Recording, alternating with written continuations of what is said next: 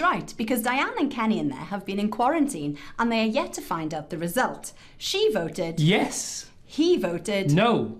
and they're about to find out the result live on the One Show. What a great idea! No. Yes.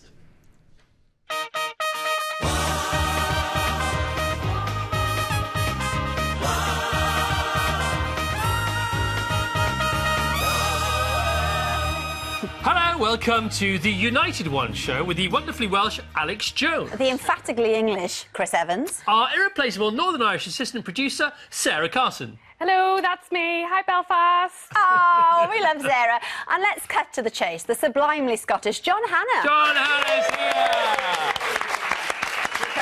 John, who didn't get to vote. No, nobody who uh, lives in doesn't live in Scotland got to vote. No. No. So Okay. it became kind of annoying that everybody who doesn't live in Scotland started telling everybody in Scotland how to vote. I found, you know, like famous actors in New York and LA and Marbella, not mentioning any names, but they were telling people how to vote. But what about what about the rest then of the Hannah clan? Because they're up there, aren't they? Which region? Uh, Lanarkshire.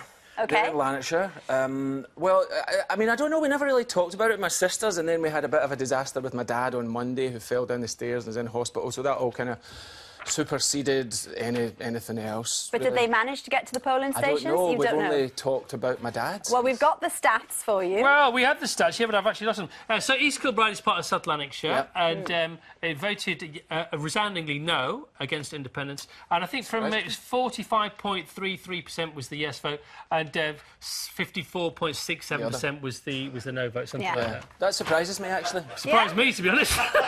And what about what about um, the fact that this afternoon Alex Salmond has resigned? You know, how do you feel about that? I think David Cameron would be nice of him to follow suit.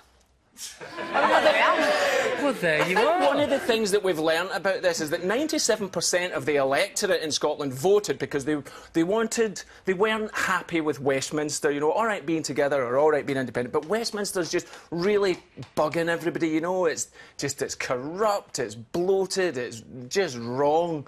And I just, everybody, if, if, the, if the English electorate, if the Welsh electorate had a chance to vote on a change of like what was happening and how we were governed by Westminster, I think everybody would say, yeah, let's change, let's get rid of them all. Let's oh, you- just dissolve the government and Maybe come up just, with a... you know, all our villages, towns, cities, we just all go independent. Do you know, I had an idea coming in here where I thought they could just take like a sort of lottery where 500 random people get picked a year to become politicians. I mean, they couldn't do any worse than this lot, could they? Well, the strange things about politics is if you if you're brand new in in the seat as an MP, or you know as a member of the cabinet, or even uh, prime minister, you you are following a guy or a lady who's been doing the job for four years and you've never done it before. It's the only time that happens in employment. Yeah, yeah. So the most experienced person's being voted out, and a complete beginner uh, gets to learn on the job. But yeah, but they sort of work within the system, don't they? And what they're working within is actually having a career. And I think that's where politics has sort of lost its way. There's people in there who are having their career.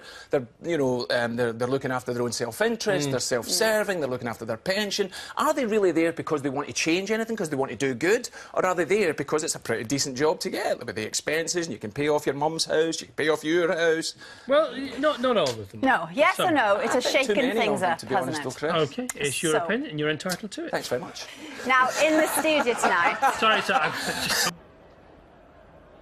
Okay, and we're sorry about the guy in the background. Nothing we can do about that. Uh, Sarah live up there in Glasgow. Now, earlier on in the show, John said he wasn't allowed to vote, but this film would suggest otherwise. I mean, I've been inside, but uh, I haven't. I can't make up my mind. Just can't decide. I mean, what what are you voting for? For me or future generations? And see, you can't overthink it, right? It's like when I go to a restaurant, look at the menu, I make up my mind. Tiramisu, tiramisu, tiramisu. Then the waiter comes over and I go for sticky toffee pudding. yeah, Right.